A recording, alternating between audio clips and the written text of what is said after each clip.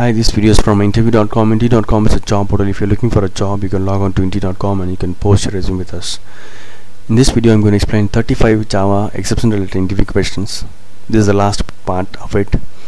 Let's see the questions. 2030. Is it possible to throw an error? Yes, it is possible to throw an error. Any throwable type include error is it possible to throw an object? No we can use throw keyword only throwable object. Otherwise we will get compile time error saying unreachable statement. What is the purpose of throws keyword? Throws keyword used to propagate the exception. That means I called a method. In that method I try to do something. I read a I try to read a file and there, there was a problem. And in the in the in that method I'm I can't do it. I can't handle that exception so I'm I'm propagating it. I'm throwing that exception to the called class called class or method so that he he has the knowledge how to handle it and find an alternative way to go to the normal flow okay?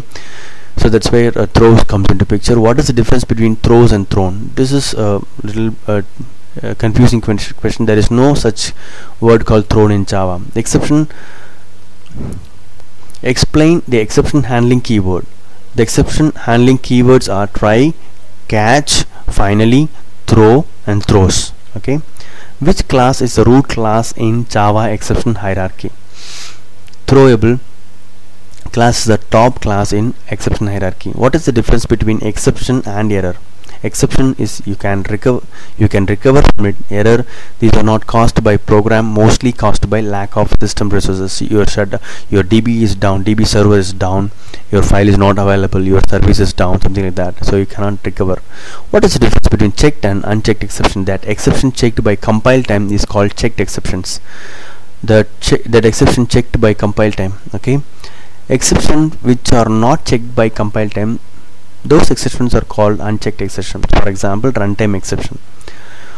What is difference between partially checked and fully checked exception? A checked exception is said to be fully checked if and only if all the child class also checked. Otherwise it is called partially checked exception. The examples are IO exception fully checked exception exception partially exception what are customized exceptions? Sometimes based on your programming require requirement we have to create our own exception such as such exception called customized exception. Can you give the name of most common exception occurred in your previous project project?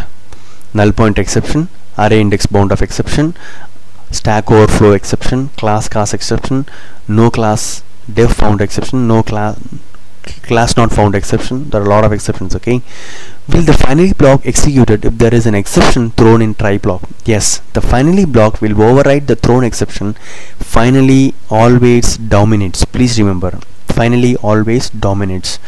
Can we catch runtime exception? Yes we can catch uh, or throw runtime exception but the compiler will not complain complain about it since it is a unchecked exception okay? Hope this video is useful for your java interview preparation. Thank you and all the best for your interview. If you like this video please press the like button and subscribe button. Thank you